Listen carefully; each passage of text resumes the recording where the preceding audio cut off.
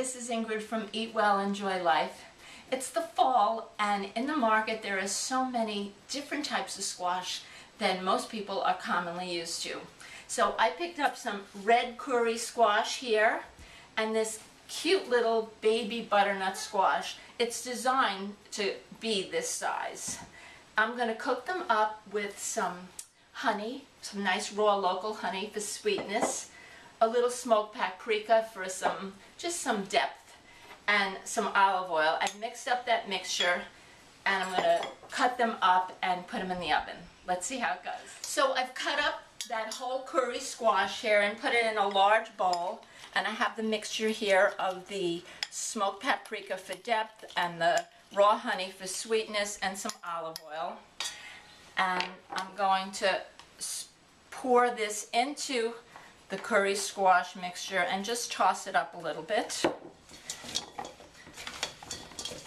so it gets reasonably coated with we're going to toss with, with the um, honey and the oil. We're going to toss it again once it goes into the oven because the honey is a little thick now so it's not covering um, completely but once halfway through it we're going to toss it again.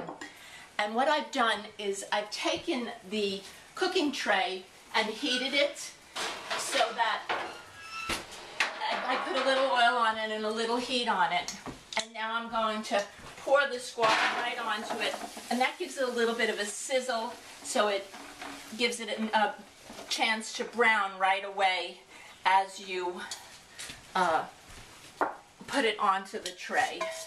I'm going to get out all of the delicious honey, oil, and the smoked paprika. I'm going to try and get these in one single layer on this pan so they can all brown up nicely. Okay, that's it, ready to go into the oven. I think it's going to take about 30 minutes to cook them, but we'll check them in about 10 minutes and see how they're doing. So it's been about 15 minutes. Let's check the squash and see how it's doing.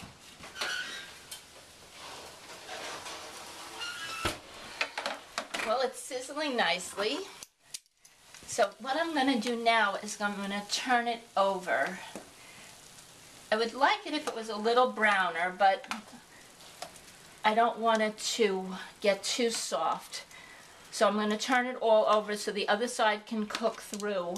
And I'm going to turn up the temperature a little bit so it browns a little more. And we'll put it back in for about another 15 minutes.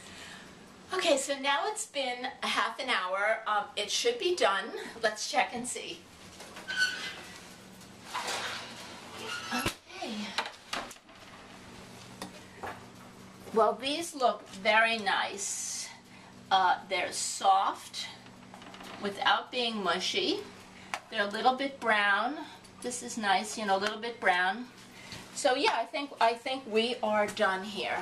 And if you want the recipe, you can go to my website at Eat Well, Enjoy Life and see red kuri squash. Have a great day. Bye.